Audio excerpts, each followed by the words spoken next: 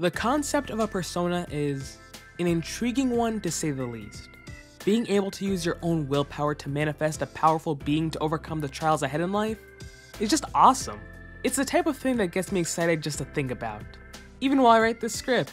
The fact that different characters can have a persona based on the same god or demon, yet they look so different from one another, is such an amazing thing too. The individuality creates such a fantastic added layer to what a persona is, both for how they tie into the game's plot, or to each of the characters' personal journeys. I just can't help but feel the need to gush about my favorite ones throughout the series. This won't be a like top 10 kind of video because, well, I don't think I could order all of them outside of like maybe the top two. I'd rather just provide a general list of my favorite ones that we've seen throughout Persona. There's no real criteria for this either. I could like a Persona because of how it looks, how it ties into a character's growth, its animations, almost anything really. And just to clarify, when I say personas, I mean the unique persona that is linked to a specific character, not just any demon in the Megami Tensei franchise. For an example of why I'm making this distinction, Here's Yamato Takeru in Persona 4, and here's Yamato Takeru in SMT4. Yeah, pretty big difference, ain't it? Don't worry, I'll talk about my favorite demons another time. As a heads up though, there may be spoilers for each individual game while talking about the personas, since a good number of my favorites are the ultimate personas and you get them pretty late into the game. So there's your spoiler warning now. Feel free to skip around to whichever games you've already seen. With that out of the way, let's get started. When it comes to the first Persona game, it can seem a little tricky to find some favorites. Unlike the modern entries, we don't have the luxury of seeing the personas in a full 3D space. And some are just normal demons that lack any distinguishing features to make them feel specific to the characters. Look no further than Reiji's ultimate persona Mot. It's the same as any other Mot in the franchise. Despite that though, Persona 1 features a good number of my favorites. Let's start with Brown's initial persona, Nevin. Yeah, apparently it's pronounced Nevin. I was not ready for that. Nevin is part of a trio of goddesses in Irish mythology known as the Morrigan. The Morrigan is the goddess of war, death, and fate, with Nevin in particular representing pandemonium during battle. This duo best represents how Brown starts off in the story, considering how Brown's timid nature can cause him to panic. Despite this, Brown is able to grow more confident and stronger as a person as the events of Persona 1 unfold. The design is another favorite of mine as well. The wings combined with the armor just look so cool to me. And I really love Nevin's attack animations as well, particularly the pose she goes into while using Heavenly Cyclone. To me, it looks like the winds wreaking havoc on the enemies are keeping Nevin afloat. And that added flair leads to it being a personal favorite animation in the series for me. And we haven't even made the jump to 3D yet. I know personas are usually always floating to begin with, but let a guy dream. But that's enough for Brown let's move on to another character. At the beginning of Persona 1, we're introduced to Nanjo's butler, Yamaoka. With Nanjo's parents commonly away on business, Yamaoka is tasked with taking care of the young heir. Despite only being his butler, Nanjo cares a great deal for Yamaoka, as he's the only person in his life who gives him the time and affection he deserves. When zombies attack, Yamaoka is killed trying to protect some civilians. In his dying words, he tells Nanjo to work hard and to become the number one man in Japan, a feat Yamaoka always knew Nanjo could accomplish. Later on, Yamaoka makes a return as Nanjo's guardian angel, a persona only he could have. I absolutely love this idea. Caring for someone so much that even in death, you're able to live on in their heart and protect them. This is the only time in the series this has happened, and it makes it all the more special. The item used to fuse Yamaoka is the amber glasses. When I played the game, I always had a thought in the back of my mind that those were actually just Yamaoka's glasses. And in the manga, you can see Nanjo pick them up himself and hold on to them. The design is pretty awesome too. It adds enough to make Yamaoka look capable of fighting, but he's still recognizable as the same man who believed in Nanjo more than anyone else. With this form, he'll be able to keep watch of Nanjo's journey, just as he always had. And finally, for Persona 1, we have not only my favorite Persona in the game, but my favorite persona in the franchise. Naoya's ultimate persona, Amon-Ra. I love Egyptian mythology. Even outside of Megami Tensei, I've always been fascinated by Egyptian folklore, gods, and especially the artistry. And Amon Ra just embodies all the stylistic elements I adore. He also happens to wield what I believe is a crook with a crescent moon on the end as his weapon of choice. It reminds me a lot of Sly Cooper's cane, which is my personal favorite weapon in video games. I can't imagine a cooler looking Persona or even a Megami Tensei demon than Amon Ra, and would love to see him make a return in later titles. I really wish that the Persona 1 and Persona 2 Personas could have been a part of the Persona 5 Legacy DLC. It would have been so cool to see them all in 3D. Hope that dream can come true someday. Now, it's no secret that the Persona 2 duology are my favorite games in the series. My profile kinda gives it away, and I have quite a number of personas from these games that I really love. To begin with Innocent Sin, we have Vulcanus, which is Tatsuya's initial persona. And I'm also gonna lump in Jun's ultimate persona Chronos into this part because I can't fully explain why I love them both without the other. When Tatsuya and Jun were kids, they were very close with one another. As a display of friendship, Jun gave Tatsuya his Zippo lighter as a gift, and Tatsuya gave Jun his own silver wristwatch. These items mean a lot to the two boys. The bond they shared together throughout their childhood, as tragic as it may have ended, was very important to them. The bond these two shared shaped the form that their other selves would then take. It's even more special that Jun awakens to Chronos only after reuniting with Tatsuya in the group. After returning to the people who mean most to him and fighting alongside them, Jun was able to remember the bonds most important to him. There will never be another future Vulcanus that looks like Tatsuya's, and there will never be a okay, if there was a Chronos looked very close to this one, I mean, yeah, Chronos is the personification of time, having a clock for a face isn't revolutionary, but I still love him anyways. Next, we've got Tatsuya's ultimate persona, Apollo. First off, the mask. I can't get enough of the design. The way the edges can look like rising flames is such a majestic detail. I love the red suit, the bejeweled gloves, the black trailing down the arms, and especially the epaulets on the shoulders. On top of that, Apollo looks so damn cool in official art and in the openings, man. God. Not to mention his signature move, Nova Kaiser, where he stops time and engulfs his enemy in a beautiful explosion. It is hands down my favorite skill in the series. He's definitely my second favorite persona in the franchise for sure. Only to the one discussed in the Persona 1 section. Let's move on to Eternal Punishment. Now, this game has a lot of Persona I really like, but I didn't want the video to be longer than it already is, so some missed the cut. The first one up to bat will be Ulala's Callisto. Callisto was a nymph who served under the goddess Artemis.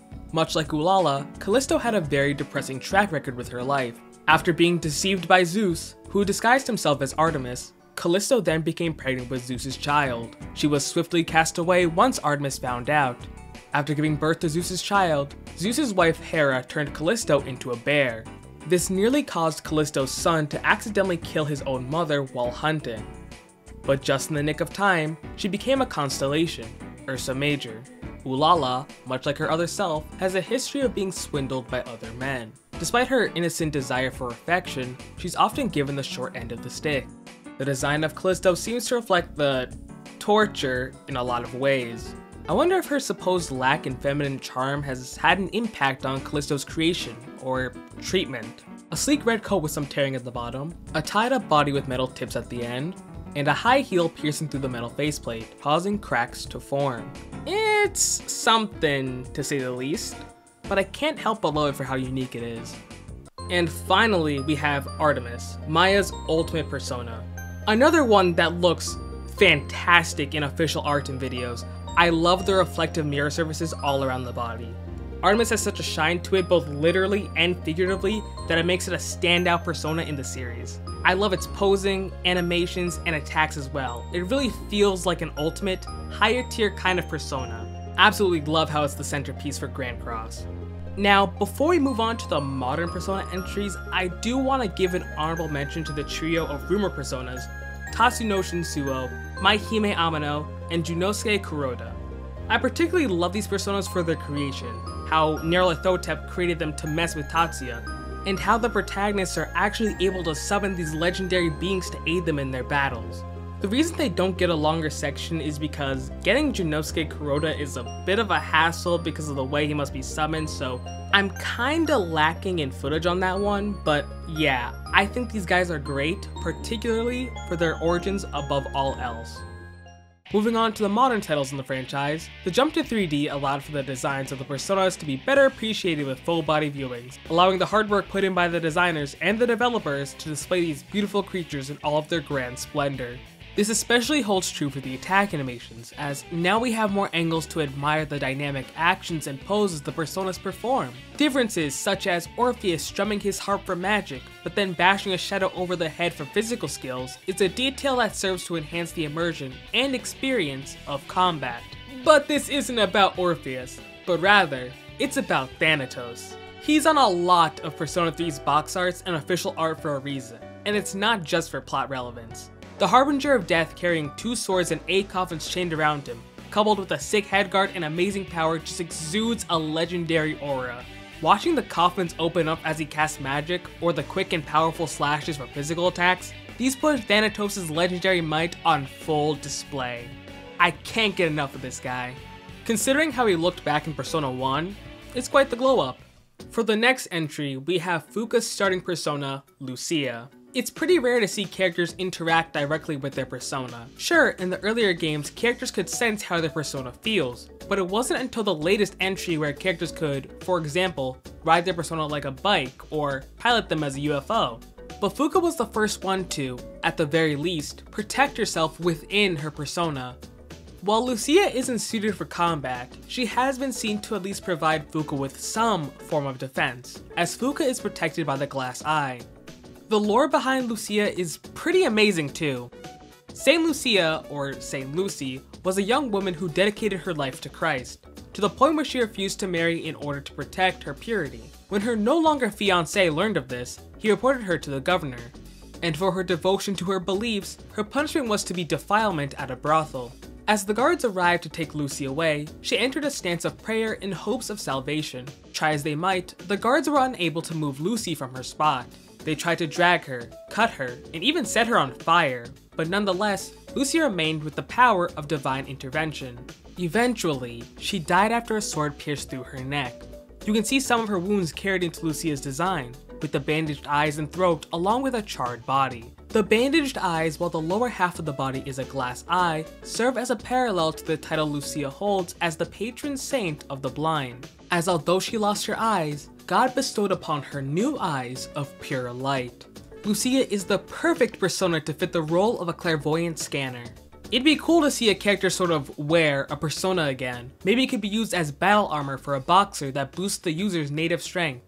I'd love to see what Atlus could do with that. Lastly, my favorites from Persona 3 are Aigis' personas, Palladion and Athena. I love these two for a lot of reasons. But the most important one is how they tie into Aigis and her own journey throughout Persona 3. Aigis is an anti-shadow weapon created to wield a persona and to protect humanity from shadows. For most of the game, Aigis views herself as no more than a weapon incapable of feeling emotion or being human. Her starting persona, Palladion, is a statue created in the image of Athena, the Greek goddess of wisdom and war. The statue was viewed as a symbol of safety and was depended on by many. At the end of the day, however, it was just a hollow statue, a shell designed in the shape of a living being. After failing to defeat Ryoji, Aigis laments over her inability to perform her purpose, if she cannot complete what she was created to do as a machine, then what's the point of being around? Why do her friends continue to struggle when there's no hope for victory? She comes to the conclusion that because she isn't alive, she'll never understand why her friends continue to struggle.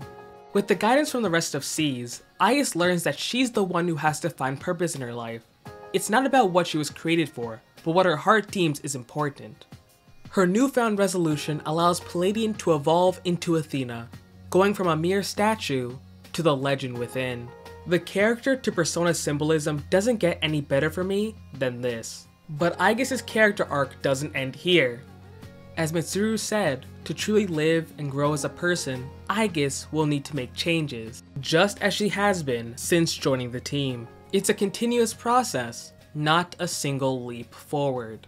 Palladion and Athena are two wonderfully designed and executed personas pairing up perfectly to reinforce Aigis' quest for her answer to life. Well done, Atlus. I've played Persona 4 a lot. I've probably spent more hours on Persona 4 than the rest of the games in the series combined at this point. And I really can't say enough just how much I love Izanagi. The country maker himself, Izanagi's suave shape, sleek jacket, and the mask guard really convey a sense of power and authority. It's such a beautiful sight to see Izanagi attack. Hell, even just his movement looks completely rad. You can really tell by the full motions that he's really giving his all behind every swing and every vigorous pose. I especially have to give props to Ultimax and BBTag. They really make Izanagi look even more awesome. And by extension, I have to say I really love Izanagi no Okami's design as well. In Persona 4, all the party member personas retain the same basic design as they evolve, they just mostly get a new coat of paint. Maybe a new weapon added or something extra, but at the end of the day, they're all practically the same thing. Izanagi no Okami isn't all too different from the original form, with some changes such as a new color scheme, an upgraded weapon, a new helmet, and some more that sells that this is the peak, the ultimate form. Magatsu Izanagi also gets props for the twisted and chaotic design scheme. But I have to say just one thing. One thing that is always on my mind when I look at Izanagi. The zipper. I think about it every day. I I just have so many questions. Is it a stylistic choice? Does it have functional purpose? Does Izanagi have a- Let's talk a bit about Yukiko's Konohana Sakuya. This is elegance, beauty, and flair given form. The flower shields are just so gorgeous. Whenever she performs an action or twirls, it's always just so stylish and refined. There's an air of confidence to her movements, which translates especially well to Ultimax's art style. When it comes to how personas look in Ultimax, Konohana Sakuya easily steals the show with its calculated yet dazzling animations. I'd also like to give a shout out to Sumeo Okami. The added sword, beautiful golden look, and long flowing hair keep everything I like while making it all shine. I prefer the original for the flowery design, but this one definitely isn't far behind. Alright, all that's left to do now is cover my favorite personas for Persona 5. So, um... You see how short this is compared to the other parts? To be honest, I really don't have many I'm super fond of. A majority of the persona designs are only just okay to me. For the party member personas, there's usually a trend where there's the original form, the second form that looks radically different, kind of experimental, and then the ultimate form resembles the initial design but looks, well, newer. This isn't a trend they all share, but it's a fairly common link. So if I'm not crazy about the initial design, then I won't be very crazy about the final one. And to be honest, most of the middle evolutions look kind of meh to me anyways. Like, I'm not fond of Seiten Taisei, and Anat just looks kind of wonky, like it could fall over at any time. But if I had to give the spotlight to a persona line, it'd be Haru's Milady, Astarte, and Lucy. This may be out of nowhere, but I really enjoy the concept of masquerade balls, where people would host these events where you'd have guests wearing these large dresses and decorative masks. Yet underneath that dress for Milady, you have this crazy violent artillery which still looks so magnificent. A balance of elegance and effectiveness in combat, completing what I loved so much about Konohana Sakuya, but in a new way. Astarte gains bonus points for being a figure of Egyptian mythology, as well as the beautifully colored skull. And then there's Lucy, and boy do I love Lucy. Bringing back the mask handle but making it shades, with a nice coat on top of the new dress combined with a scarf a more modern look than most other personas, and one that suits it well. For a game where I'm not that fond of most persona designs, Haru really scored big on her lineup. Fantastic job. That's it for the video. Thank you all so much for sticking around for however many minutes of me just gushing about all sorts of personas. This is like one of the more freeform videos I could possibly make, and it felt really good to make something like this. Feels like I got a breath of fresh air after making this video. I'd love to hear about some of your favorite personas and why you like them so much. Leave a comment, it'd be great to read what y'all think. Well, that's all I got for today, but I do have just one more thing to leave y'all with. Keep going, Senpai! Go to town, Senpai! It's a promise, partner! I'll show you our strength!